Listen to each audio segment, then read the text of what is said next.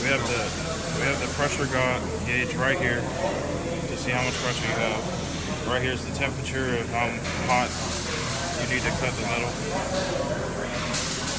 Put it to whatever you need, and then up here you can get a look at the torch parts and how to work gas pressure. Uh, back here is the uh, air hose that you need to hook up to use it.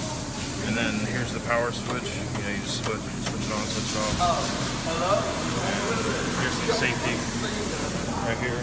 And you need to hook this on to whatever you're working on. So you can keep it stable.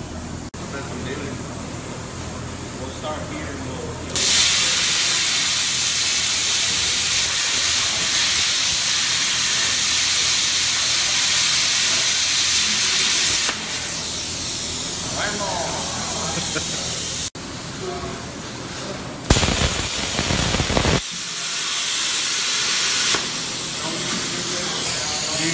if you hold it and you cut, there's a...